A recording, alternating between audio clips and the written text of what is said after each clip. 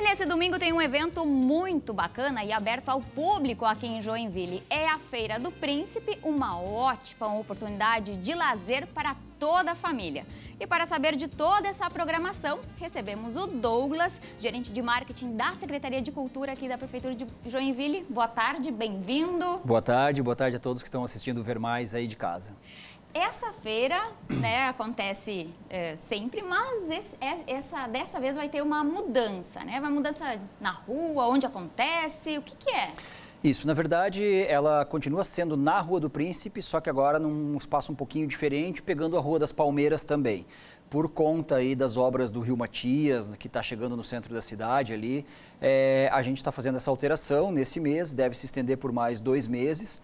Então, mas para quem está acostumado a ir na Feira do Príncipe, pode chegar pelo mesmo caminho. A feira vai estar tá acontecendo próxima à Rua das Palmeiras, na Rua do Príncipe e aí ela vai pela Rua das Palmeiras até na Rua Rio Branco, ainda pega um pedaço em frente ao Museu Nacional ali de Imigração e Colonização, bem no coração da cidade, no centro, é, da forma como o pessoal já está acostumado. Uhum. Alguma alteração no trânsito que é diferente também ou não? Sim, a, Rua Rio Branco ela vai estar fechada então, por conta da, da, de algumas barracas que vão estar por ali, é, mas as pessoas conseguem acessar pela Rua São Paulo ou pela 9 de Março ali e fazer o estacionamento ali na região central da cidade e aproveitar o nosso centro, é, vivenciar a nossa cidade, o nosso centro de Joinville, Rua das Palmeiras, o nosso maior cartão postal. E também é aberto ao público e tem muita coisa boa? O que, que já dá para antecipar? É, ela é uma feira bem democrática, né? É, valoriza muito o artesão, o empreendedor local aí de Joinville.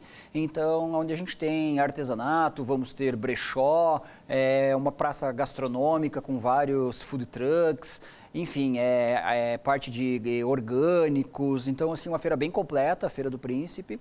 É, e diversas atrações também durante todo o dia, com música, dança, aulões, né? É, a família toda pode ir é, começa às 10 horas da manhã, vai até às 4 da tarde no domingo. Então dá para a família toda prestigiar, almoçar por lá e passar um domingo bem gostoso aí com a gente. Então é aberto ao público, não tem essa questão de ingresso, nada, não, é só não. realmente ir lá aproveitar. Tem shows também? Sim, vai, é, vão ter algumas apresentações musicais, né? Apresentação de dança, aulão de dança com o pessoal aí da Casa da Cultura também. É, vão ter alguma, alguns artistas fazendo algumas intervenções. Então, assim, é um domingo bem bacana. A previsão é boa, a previsão do tempo aí depois deve passar também, mas é boa a previsão do tempo.